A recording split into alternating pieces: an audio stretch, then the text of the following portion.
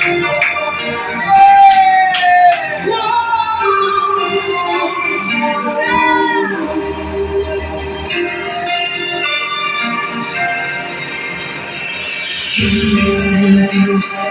que divide el mar.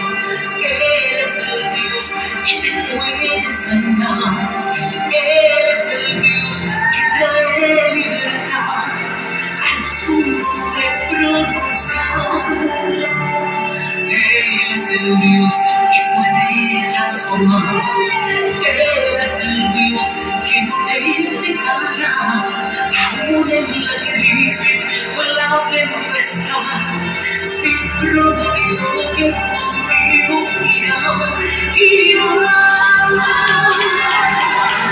Nos Dios que no te